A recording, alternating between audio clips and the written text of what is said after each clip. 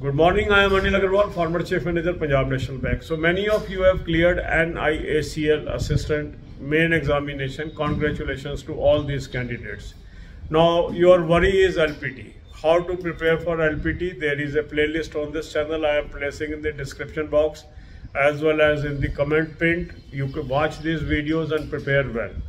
The final merit will be determined after you clear LPT. So LPT is a very important aspect you have covered the most difficult phases but don't take LPT as a casual thing. LPT will be game changer. The candidates, those will pass LPT. Thereafter, they will redraw the merit list and final selection will be announced. God bless you all. अब यही बातें हम हिंदी में करेंगे कल N main का result आया मुझे खुशी है काफ़ी चैनल के हमारे सब्सक्राइबर इसको पास करने में कामयाब हुए अब अगला पड़ाव है एलपीटी और एलपीटी एक सीरियस इशू है। एलपीटी कैसे तैयारी करनी है, उस पर बहुत सारे वीडियो हमारे चैनल पे हैं। उसका प्लेलिस्ट का लिंक मैं डिस्क्रिप्शन बॉक्स में दे रहा हूँ और कमेंट कॉलम में दे रहा हूँ। इन वीडियोस को ध्यान से देखिए और अच्छी तैयारी करिए। एलपीटी एक सीरियस अफेयर है।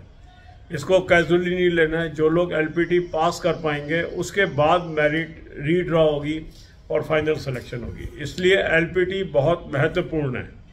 इसको ध्यान से आपको पास करना है। God bless you